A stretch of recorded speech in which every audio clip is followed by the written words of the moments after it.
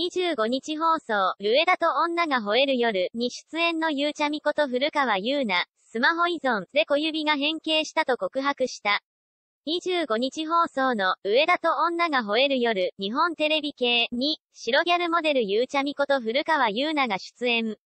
スマホをいじりすぎて起きた、ある変化、とは、視聴者の注目を集めた、ファッションショーでガチ注意。今回番組では、スマホを手放せない女 SP を放送。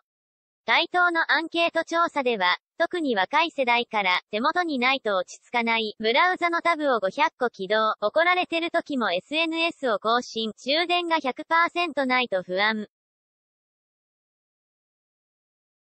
90%でも充電する、といった、スマホ依存、エピソードが出てくる。そうした中、ヒアル代表として出演したゆうちゃみ。自身が出演したファッションショーでは、直前までスマホをいじっていたために運営側から激怒されてしまうほど、スマホに依存していると明かす。手の小指が iPhone の利用時間を確かめられるスクリーンタイムを見ると、平均して1日あたり8時間20分ほど。10時間を超える日もあるそうで、ゆうちゃみ曰く、中でもやはりインスタグラムや TikTok などの SNS が多いようだ。バル、そうしたこともあり、背の小指がめっちゃ凹んでる、と、いわゆる、スマホ指、になったそう。カメラに向けて手を広げると、小指の関節を何度もなぞってみせた、起きてる時間の半分。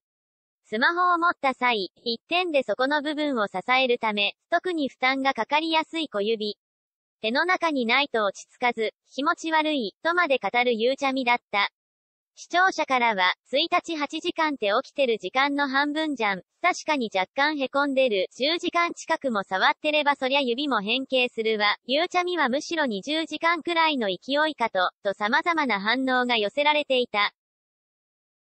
ギャル声、ゲンル、ゆうちゃみのスマホ依存具合でスタジオが盛り上がる中、なんと利用時間で上回る強者が。それはタレントの北斗晶。スクリーンタイムが示した1日の平均時間は、なんと11時間46分。収録日であるこの日に限れば、13時間41分だそう。これ、スマホがないと不安で仕方ない、と語る北斗。ゆうちゃみからは、ギャルより多いの話ですよと突っ込まれていた。